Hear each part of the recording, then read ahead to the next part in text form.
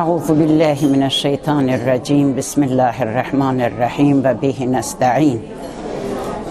Bugünkü gün Məhərrəm ayının Aşurasından çıxmışıq. Ayın 8-də Aşura olub. Bu gün də imamın üçüdür.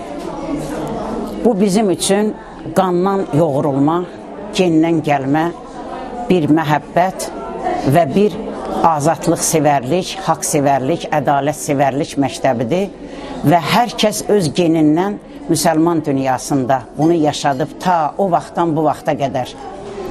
Mən bu münasibətlə öncə zəmanənin imamına, İmam-ı Məhdi Əccəlallahu Fərəcəhü Şərifə və bütün dünya müsəlmanlarına, o cümlədən ilahi rəhbərlərə hamısına dərin hüznlə başsağlığı verirəm.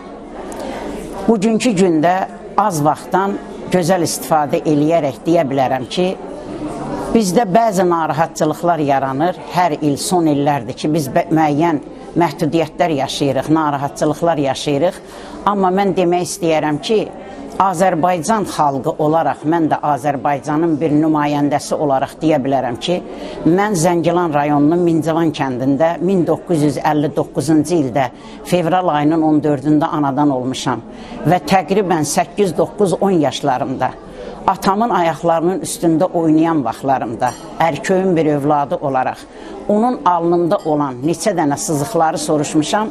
Atam bu cümləni mənə deyib, qızım, böyüyəndə sənə başa salacam və 5 il keçəndən sonra və mən atama sual vermişəm, səni gözləyirəm, o cızıqları mənə başa sal, atamın heyran qaldığına mən özüm də heyran qalmışam.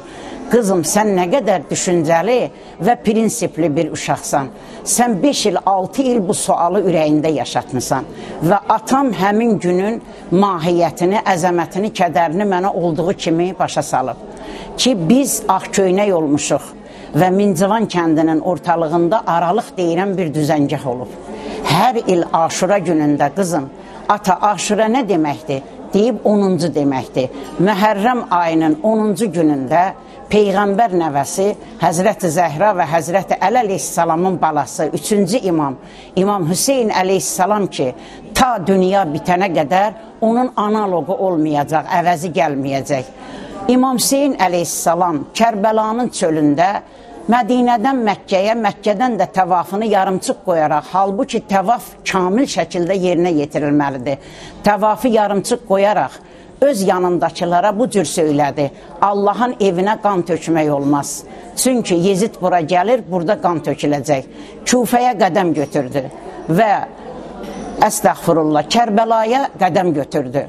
Və o Kərbəlanın çölündə əhli əyalının da çadırını qurdu, xeyməsini qurdu. Sual olundu İmam Hüseynindən, bunların burada nə işi var?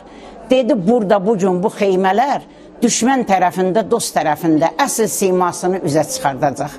Və İmam Hüseyin əleyhissalam 72 sərdarı ilə o zülmə, o haqsızlığa, zəmanəsinin tağutuna, şeytanına, iblisinə, zalimına, hamısına öz qanı ilə qələbə çaldı.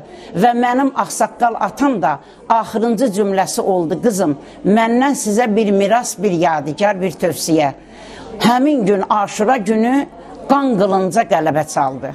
Biz o günəcən görməmişdik ki, qan qılınca qələbə çalsın. Kərbəlanın susuz düzəngahı qan ilə göl oldu. Amma o qan qılınca qalib gəldi. Düşməni məhvi nabud eylədi. 14 əsr keçsə də belə, mən həmişə deyəcəm bunu. Təkcə müsəlman ölkələri yox, bəlkə bütün xristiyan ölkələri belə İmam Hüseynin bugünkü gününü böyük hüzünlə yaşayırlar və yaşadırlar. Və bu yaxında da sosial şəbəkədə özüm gözlərimlə gördüm ki, Gürcüstanın keşişi İmam Hüseyin əleyhissalamın təkcə müsəlmanlara yox, dünyada olan bəşəriyyətə doğan günəşdir və nəcat gəmisidir.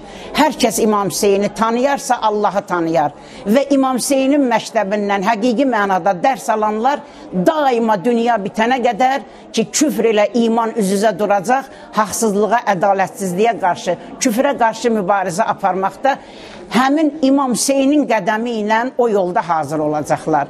Bugünkü gün münasibəti ilə hər bir müsəlmana tək-tək olaraq öz dərin hüznümlə başsağlığı verirəm və üzümü tutub bütün dünyaya demək istəyirəm ki, İmam Hüseyni mənim onun bayrağını mənim əlimdən ala biləcəksiniz.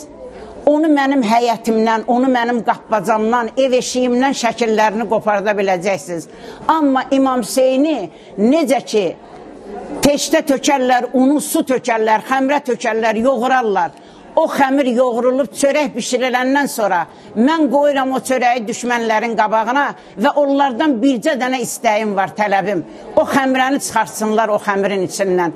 İmam Hüseynin məhəbbəti, onun ədaləti, haqsevərliyi bizim qəlbimizə həmin xəmirin içində, bişmiş çörəyin içində xəmrə rolunu daşıyır.